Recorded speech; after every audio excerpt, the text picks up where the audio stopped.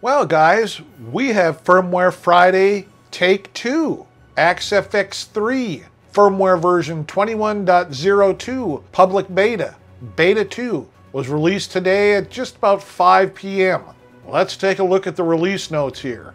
Added 59 Bassguy reissue jumped amp model, added JP2C plus shred input boost type to amp block, added Buxom boost drive model based on Friedman Buxom boost, added OD1 overdrive drive model based on a Boss OD1, improved the compressor block, and I mean there's one, two, three, four, five, six, seven, eight, nine, 10, 11, 12, 13, 14 items under improved compressor block. Improved gate block, improved downward expander type, and added modern expander type, and improved noise gate in input block, improved performance based on new algorithm developed for gate block, and a mode selection has been added allowing the user to select between easy and advanced. Now I'm going to assume that since this came out Friday, literally after work hours, that there will be a new version of Axe Edit 3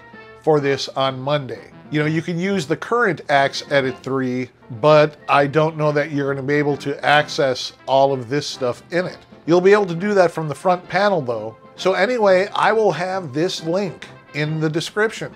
All right, guys, once again, have a great weekend, and I will talk to you next week.